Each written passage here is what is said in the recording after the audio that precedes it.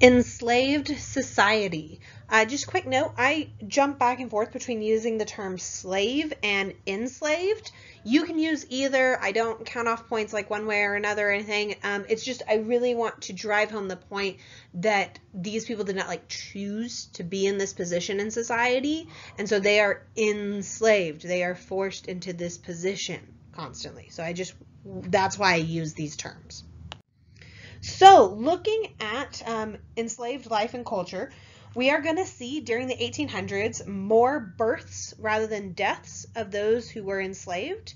Now, there is some smuggling in of enslaved people into the United States, but generally not. So, really, by the time you get to like 1850, almost all that are enslaved were considered African Americans, not Africans because they had shared in this common fate of bondage and they had generally been born within the United States and therefore had a different identity than their predecessors.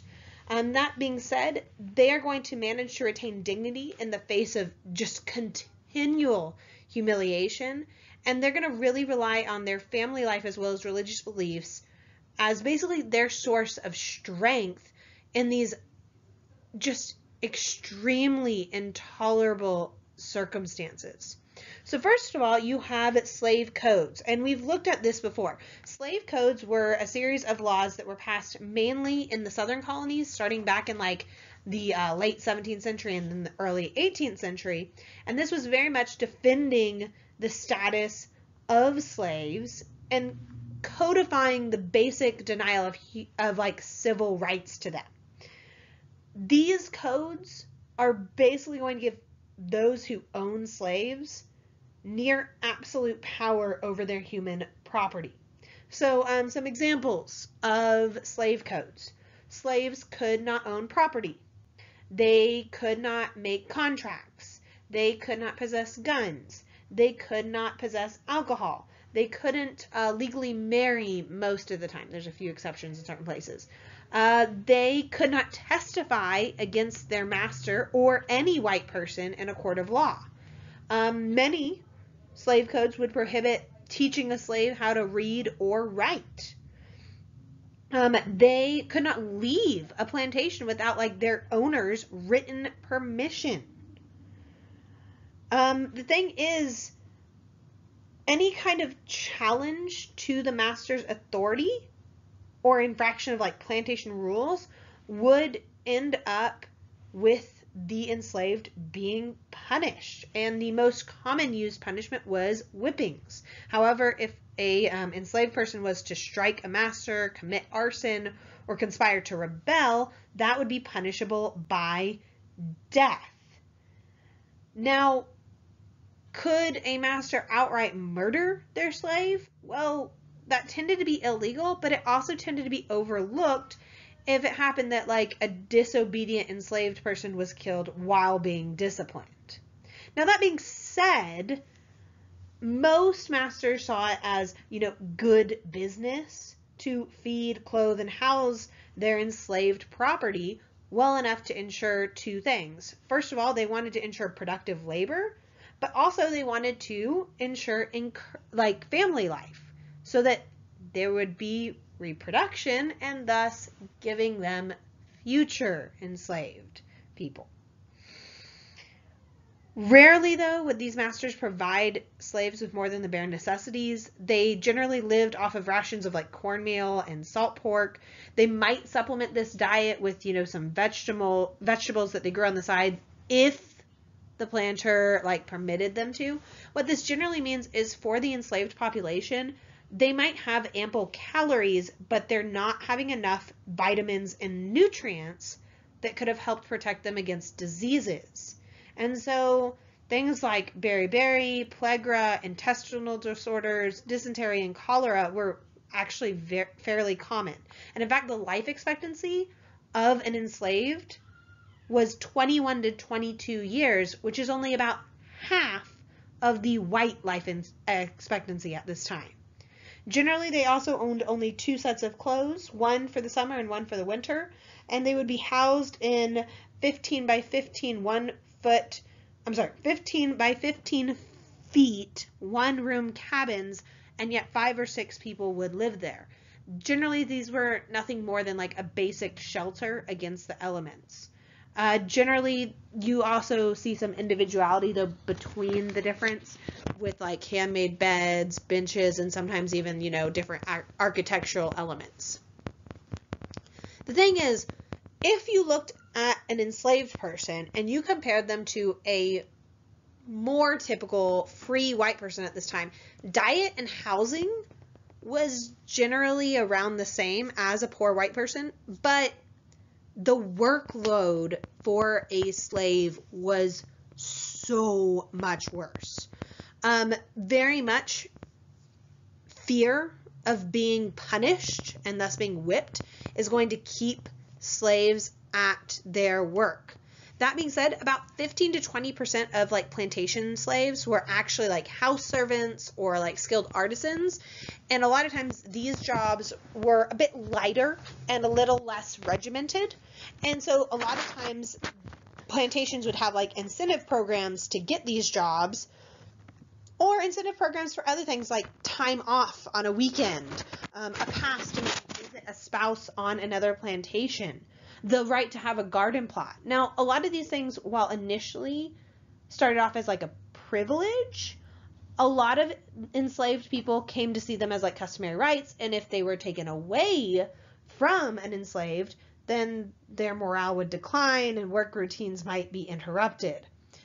About three fourths of all enslaved people worked on plantations or medium sized farms. And then, of course, there was family the core institution of slave life. The thing is, enslaved people face so many obstacles, but still, their marriages could produce enduring commitments and a really supportive moral code for family members. Oftentimes, like when it came to marriage, even though it wasn't necessarily recognized formally, um, it would be that this marriage would re- remain intact until death, or more frequently, the sale of one of the spouses.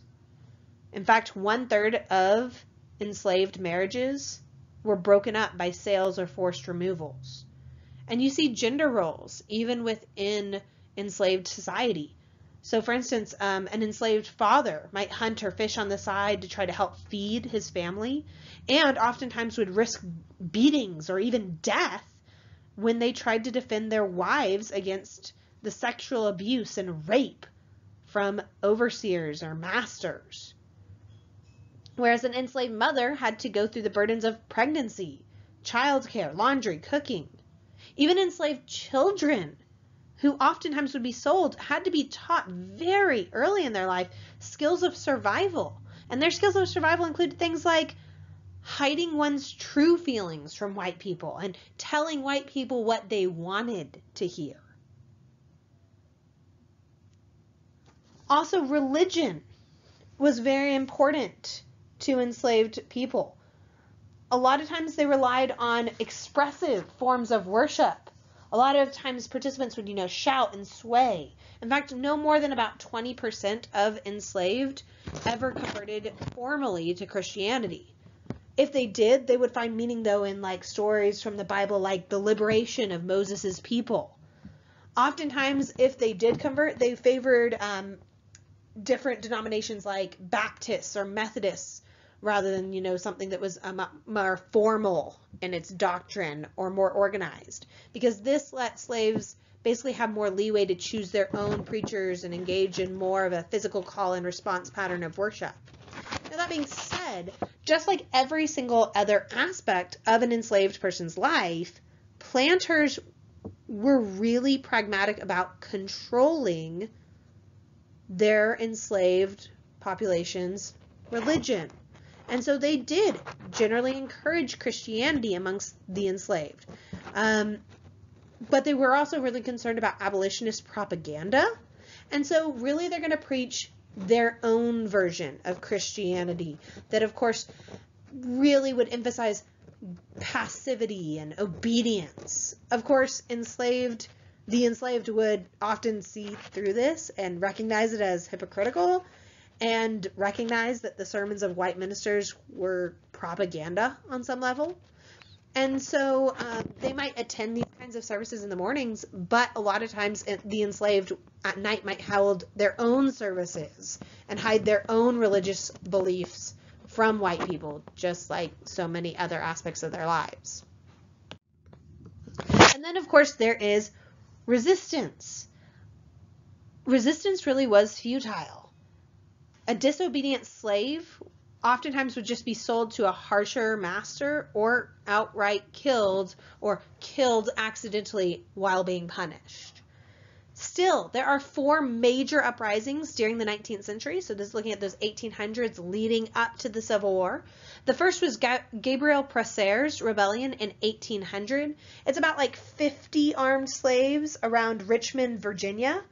The rebels, though, while they tried to self-emancipate themselves here, they failed to seize a key war road to Richmond and basically another enslaved enslaved person basically informed on them and warned white authorities and this basically doomed the rebellion before it could really get underway. In the end, uh, Gabriel Prosser himself was executed, as well as 25 others. And I want you to think, as I go through all these rebellions, I want you to look for those key themes. What happens multiple times in these rebellions? What are the consequences? What are themes that come? Uh, the second um, happened about a decade later in 1810. It was known as the German Coast Uprising. Uh, this is right, it was actually north of New Orleans, um, and it actually included it's something like somewhere between 200 and 300 enslaved people actually got involved. And amazingly enough, even though this is the largest enslaved uprising, they actually only killed uh, two white men during it. However, the rebels were caught in the process Oftentimes they were killed immediately or even tortured immediately, trying to be a warning to others who might be in the surrounding area. It's something like more than 60 enslaved died, and their heads then were posted on poles along the Mississippi River, basically to warn other enslaved people of the fate that awaited rebellious slaves. The third uprising was Denmark Vesey's conspiracy, and it fails before it even started. Um, this was in Charleston, and so it's in South um, Carolina. Basically, uh, Denmark Vesey had actually managed to purchase his freedom and then planned this revolt for the summer of 1822. However, the entire plot collapsed when two domestic servants basically betrayed it. 35 conspirators would be hung, including Vesey, and then another 37 would be banished from the state. The fourth one is Nat Turner's Rebellion, and really this is probably the most famous of all of these. Um, the thing is, a lot of these that we've been looking at, they were in the lower South, where slavery is a lot more entrenched. And so there was this really belief that, like in Virginia, that, oh, that's because those slave owners don't actually treat their slaves right, whereas we treat them fairly, even though that was a very small minority that did so. And so it was a really big shock when Nat Turner's rebellion broke out because it did erupt before it could be suppressed, and it was in Virginia. Nat Turner himself led a small band of followers on a murderous rampage in 1831. They killed indiscriminately men, women, and children. Um, but in the end, Turner's party was captured and many of them were killed. And in fact, a lot of people who involved were killed as well because basically uh, surrounding counties heard of the uprising and like outsiders would come, you know, barreling into the county. And if they met like a black person on the road on the way there, they just assumed they were part of the conspiracy and outright killed them.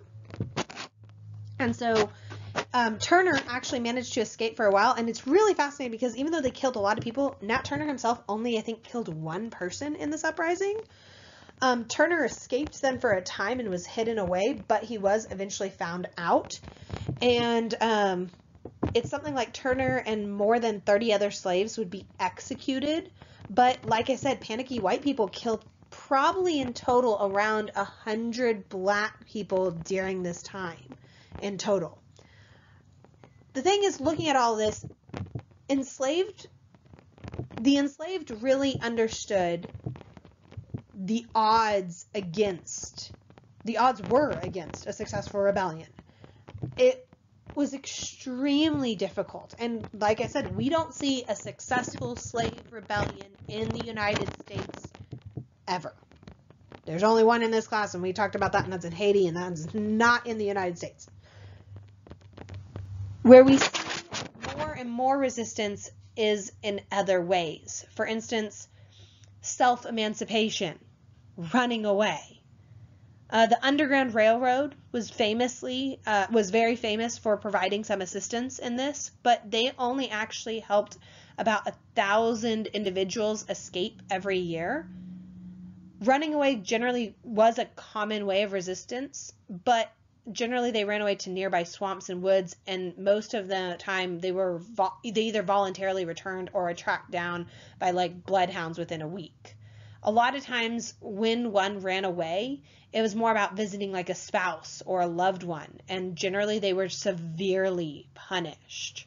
So many enslaved would resist in less overt ways. They might mock people eh, by, you know, making up folk tales like Brer Rabbit, where a weak but wily animal cunningly outsmarted their stronger enemies. Um, they might malinger at work. They might um, abuse farm animals. They might lose or break tools or steal food. And then, of course, there's like committing arson.